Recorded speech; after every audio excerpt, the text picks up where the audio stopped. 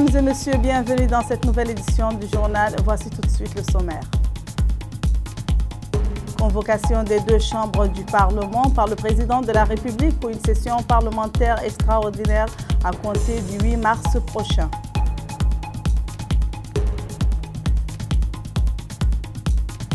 En visite au centre hospitalier de Kéhédi, le ministre de la Santé recommande à la direction de l'hôpital la propreté et l'hygiène en vue d'éviter la propagation des germes et les salubrités. Poursuite de la visite d'une délégation de l'Union pour la République en Chine en vue de s'imprégner de l'expérience du Parti communiste chinois.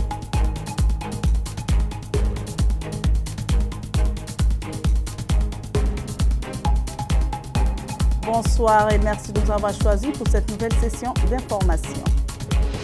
La présidence de la République a émis un décret portant convocation des deux chambres du Parlement mauritanien à une session parlementaire extraordinaire à compter de mardi prochain 8 mars. Au menu des travaux, études et discussions d'un certain nombre de projets de loi, dont ceux relatifs à la lutte contre la corruption et au programme contractuel entre le gouvernement mauritanien et l'ENER. Le ministre de la Santé, le professeur Khan Boubacar, a recommandé aux dirigeants des différents établissements de santé d'entretenir la propreté et l'hygiène dans leurs structures. Après ceux de Nouakchott qui affichent une mine nettement meilleure que par le passé, ceux autour de l'hôpital de Kéhédi de recevoir les directives du ministre pour éviter la contamination favorisée par l'insalubrité. Le professeur Khan a affirmé que la propreté constitue une prévention contre de multiples pathogènes. Les dirigeants du parti au pouvoir s'imprègnent de l'expérience du Parti communiste chinois, notamment en ce qui concerne l'attachement aux valeurs populaires. Une délégation de haut niveau de l'Union pour la République, dirigée par son président, Maître Sidi Mohamed Al-Maham, actuellement en visite en Chine, s'est réunie avec une délégation du Parti communiste chinois présidée par Lu Chen, membre du comité central, responsable du comité du parti pour la région de Guangdong. La réunion s'est déroulée vendredi dernier dans la ville de Fangzhou. La délégation mauritanienne s'est enquise de l'expérience chinoise en ce qui concerne l'organisation des structures de base du parti. Organisation hier 5 mars à Nouakchott d'une rencontre au Musée national sous le thème Femmes d'exception, parcours de vie et valeurs partagées.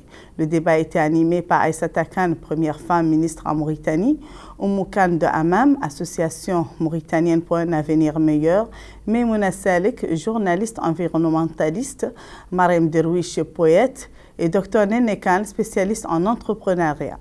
Tabaram Bodju de Association d'aide et insertion sociale des enfants de la rue. Plus de détails dans ce reportage de Habis Sokro. C'est déjà l'effervescence dans le monde associatif dédié aux femmes ou dirigé par elles, à la veille de la célébration de la Journée mondiale de la femme. C'est aussi l'occasion au moment où la femme est à l'honneur de découvrir les nouveaux concepts initiés par certains de leurs consorts pour magnifier les membres de la gente féminine mauritanienne toutes générations confondues, et qui se sont illustrés à travers un périple exceptionnel ou des actes qui ont rehaussé cette gente féminine, mais aussi pour avoir réussi à briser les carcans des idées reçues et de la stigmatisation dans lesquelles elles sont souvent enfermées. Tout d'abord, le lieu choisi est déjà une symbolique en soi. Le musée national qui représente la mémoire culturelle d'un pays et qui la perpétue. L'avoir donc retenu comme lieu rehausse la femme mauritanienne l'espace d'un après-midi et son directeur s'en réjouit. Le travail avec euh, toutes les communautés, mais particulièrement les femmes et les jeunes, font partie des objectifs du musée national.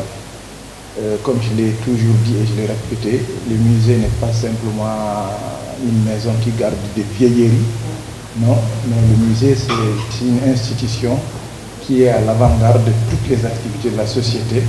Donc je vous remercie encore une fois de plus d'avoir eu l'idée d'organiser votre, votre activité ici au musée. C'est donc Madame Hawassi du Traoré qui a eu l'honneur d'héberger le concept Femme d'exception qu'il a créé il y a trois ans.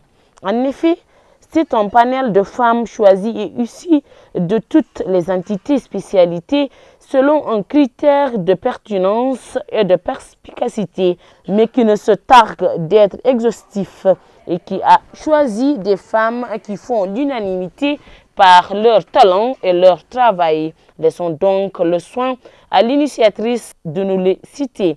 Aïssata Khan, Oumou Khan, Mariam Derwish, Tabaram Boj, la mère des enfants, Maïmouna Salek, notre mimi nationale, citoyen lambda comme elle aime s'appeler, et bien sûr aussi docteur Nenekan. Merci à tout un chacun. Notons que chacune de ces femmes nous ont épatis à un moment ou à un autre dans leur engagement pour la bonne cause, mais aussi pour leur particularité par rapport au genre dont elles sont issues, comme l'attestent les propos de cette intervenante.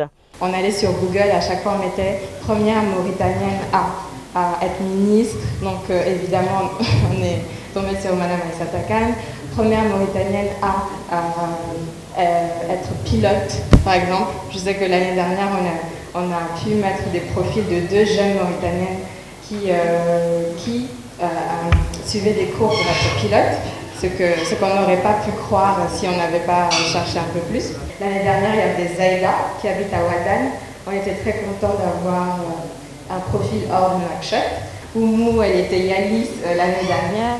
Félicitations pour ça. Maïmouna, notre Mimi nationale, vient juste de recevoir un prix en Jordanie.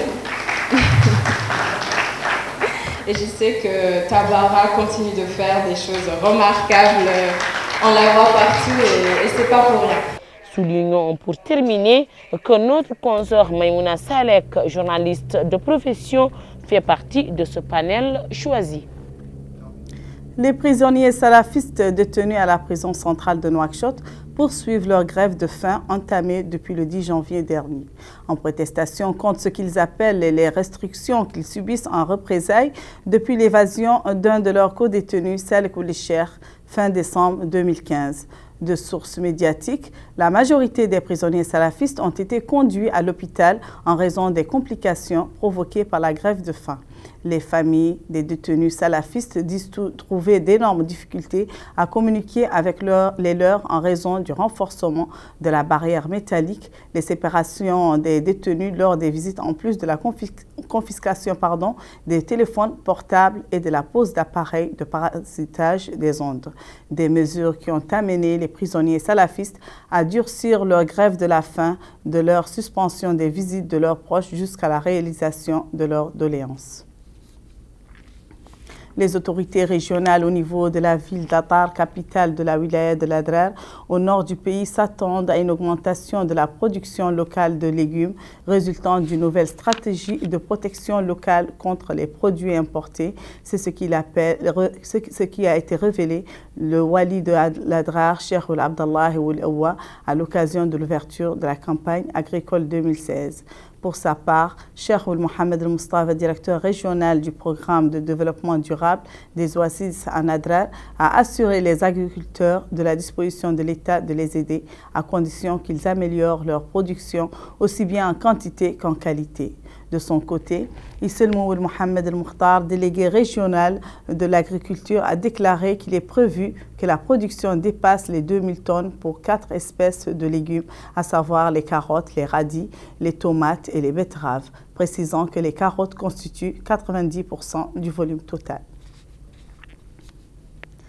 La Confédération nationale des travailleurs mauritaniens CNTM a déclaré qu'une société marocaine d'exportation de jus sous la marque Danone pratique l'injustice, la violation des droits d'un groupe de jeunes mauritaniens employés et piétine la loi en vigueur à travers la spoliation des droits de la main-d'œuvre mauritanienne. Finalement, dans un communiqué rendu public, la Confédération nationale des travailleurs mauritaniens a révélé que la société en question a procédé au licenciement des jeunes Mauritaniens concernés sans s'acquitter de leurs droits les plus élémentaires et a refusé de payer les salaires dus. Des dizaines d'activistes et de militants de droits de l'homme ont célébré hier à Nouakchott leur 38e anniversaire de la création du mouvement Al-Har sous le thème La Mauritanie de la construction et de l'ouverture. À cette occasion, le leader au sein du mouvement, Mohamed El-Bourbous, ancien ministre et président du parti Al-Mustarbel, a affirmé que le choix de ce thème pour cette commémoration s'inscrit dans une dynamique d'ouverture pour créer une synergie entre toutes les composantes de la société mauritanienne l'une des principales aspirations des générations montantes. Dans une allocution, Oulbourbous a déclaré que les précurseurs du mouvement Al-Har, pionniers de la lutte anti-esclavagiste, se sont préoccupés de transmettre la voix de ceux qui ont souffert, appelant à unir les efforts et à construire un état de droit et d'institutions fortes et pérennes. L'équipe de la wilaya de l'Inchiri a gagné le championnat de tir traditionnel qui vient de se tenir à Nema, capitale du Hord Sharqi.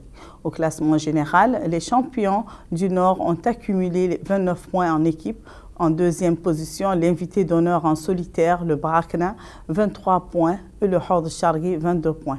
Le trophée de meilleur tireur a été décerné à Levril, ou Mohamed Levril, de l'équipe championne de l'Inchiri, qui a gagné 5 points. Chaque équipe est composée de 15 tireurs munis chacun de 9 cartouches. La sphère politique du côté de l'opposition s'est illustrée durant cette semaine qui s'achève par l'organisation d'assises et parfois de sitting pour dénoncer et attirer l'attention sur certains faits et sur la situation politique, économique et sociale. Nous nous sommes attardés pour vous ce dimanche sur l'organisation des femmes du Rassemblement national pour la réforme et le développement, Tawassul, qui avait organisé en tout début de semaine une conférence sous le thème La situation intérieure à la lumière de la frustration et du blocage. Jamil Mansour, président du parti, avait fait une déclaration à cette occasion. Tel est le sujet de notre dossier du jour élaboré par Fofana Issa et proposé par la rédaction. Durant ce forum d'échange organisé par les femmes du parti, leur leader qui animait cette conférence débat a articulé son intervention autour des trois paramètres qui constituent à ce jour la problématique de la bonne gouvernance, non seulement en Mauritanie, mais dans une bonne partie du continent, et que M. Jemil Oulmansour a dénommé l'équation sociale, l'équation économique et la non moins importante équation politique du moment. Il s'est évertué tout d'abord à faire un diagnostic de la situation sociale du pays sur la base de ses différentes composantes ethniques, sociales et les épineuses thématiques qui touchent à l'unité, la stabilité et l'égalité en Mauritanie. Ce qui lui fait donc soutenir cette analyse. La Mauritanie est un pays multiethnique, multiracial, multisocial, multirégional. Et il faut prendre en considération cette réalité et il ne faut pas avoir l'attitude de négliger la réalité comme elle existe. C'est vrai qu'Alhamdulillah, nous sommes un parti politique de référentiel islamique qui n'a pas de problème là-dessus. Mais il faut, en matière de discours, en matière de programme, en matière de proposition, de donner quelque chose qui protège l'unité nationale de ce pays, l'unité de tous les Mauritaniens, en refusant tout point de vue ou toute euh, sensibilisé qui demande la séparation des Mauritaniens, mais en même temps, il faut que cette unité soit basée sur l'égalité et la justice. Autrement dit, il n'est pas possible de parler d'unité, d'évoquer la cohésion sociale entre toutes les composantes de la nation sans avoir une politique de justice, d'égalité et d'équité.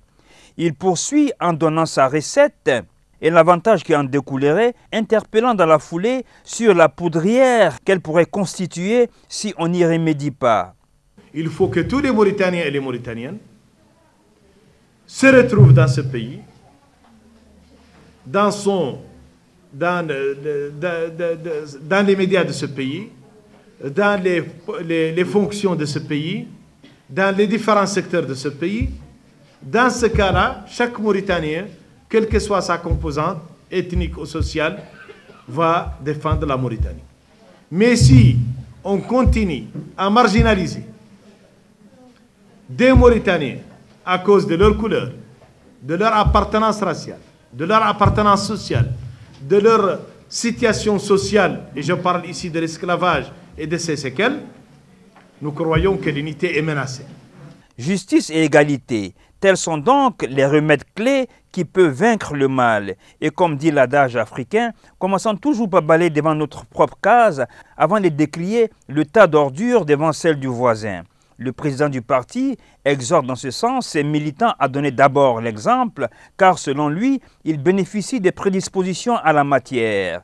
Je demande que les gens de Tawassul, les femmes de Tawassul, doivent prendre en considération cette situation.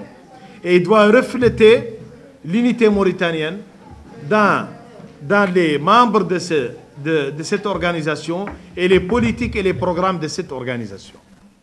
C'est tel Tawassul les femmes de Tawassul, parce que le référentiel islamique, comme il l'a regroupé dans l'histoire, les Arabes, les Perses, les Romains, etc., il peut regrouper toujours les différentes composantes ethniques et sociales dans notre pays. Et Alhamdulillah, nous sommes un pays musulman 100%. Il a ensuite abordé le volet économique de son exposé, affirmant d'emblée que la gabégie et la mauvaise gestion sont latentes, malgré toute cette assistance publique au développement dont bénéficie largement la Mauritanie de la part de ses partenaires et les ressources qu'elle recèle. Il s'en explique succinctement. Un pays, il n'y a que 4 millions, avec beaucoup de richesses, avec beaucoup d'aides et de dettes il ne doit pas être dans la situation actuelle qui existe. C'est une politique catastrophique qui ne prend pas en considération les besoins des Mauritaniens et la bonne gouvernance des biens publics et de l'économie de ce pays. Au plan politique de sa thèse, il s'est focalisé sur les entraves aux libertés constatées selon lui ces derniers temps. Notre vision en tant que parti, notre vision en tant que forum, dans ce dialogue, les atteintes aux libertés publiques dernièrement, au niveau médiatique, au niveau des manifestations, au niveau des rassemblements et des réunions euh, dans les hôtels, etc. Et j'ai dit qu'il y a un recul euh, euh, qui a été complètement constaté les dernières semaines en matière d'atteinte aux libertés publiques sur le dialogue politique interne, sujet à beaucoup de tergiversations et parfois même de divisions internes, il estime à ce stade que le pouvoir qui veut l'organiser doit arrêter de verser dans les attitudes ostentatoires en tenant compte de l'image politique réelle du pays. En accent sur l'unité, en protégeant l'unité des Mauritaniens, en demandant la justice et l'égalité et l'équité, notre parti euh, en discutant de la situation économique, en demandant la bonne gouvernance, en demandant une lutte contre la gabégie, notre parti, en demandant un dialogue politique sincère, pas un dialogue politique euh, euh, carnaval, mais un dialogue sérieux qui peut aboutir à des résultats qui servent la démocratie et l'alternance pacifique au pouvoir. Notre parti qui milite contre toute atteinte aux libertés publiques, et il demande les libertés pour le parti et pour les autres, dans ce cas-là, nous pouvons continuer, Inch'Allah notre combat politique, social et économique. Les femmes, justement, à la veille de la célébration du 8 mars, il leur rend hommage dans son intervention et fait un rappel sur leur rôle qu'on a tendance souvent à occulter. L'organisation des femmes, les femmes de réforme, peut jouer un rôle important dans ce parcours et dans cette voie parce que je crois que le niveau de cette organisation, la diversité de cette organisation, le niveau des cadres de cette organisation peut jouer un grand rôle.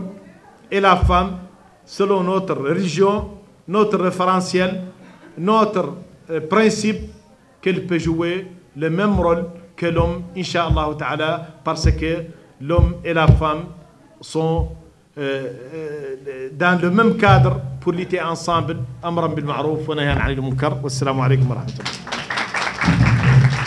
Notons pour terminer qu'à l'instar de leurs consoeurs, les femmes de Tawassoul projettent ce 8 mars une cérémonie à la hauteur de l'événement qui les honore.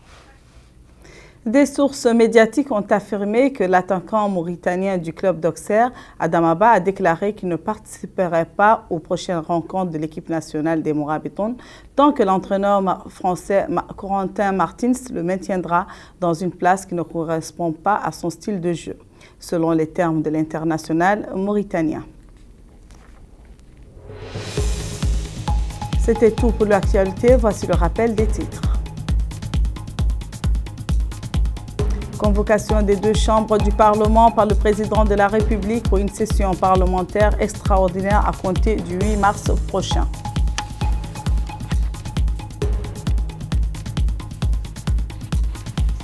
En visite au centre hospitalier de Kéhédi, le ministre de la Santé recommande à la direction de l'hôpital la propreté et l'hygiène en vue d'éviter les propagations des germes et l'insalubrité.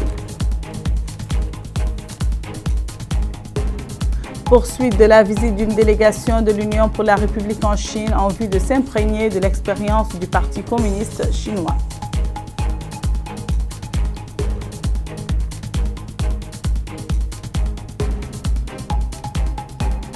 Mesdames et messieurs, ainsi prend fin cette édition. Merci de votre attention et bonne suite de programme sur El Morabetoun. Vous pouvez suivre cette édition ainsi que d'autres éditions encore sur notre page Facebook dont l'adresse apparaît à l'écran.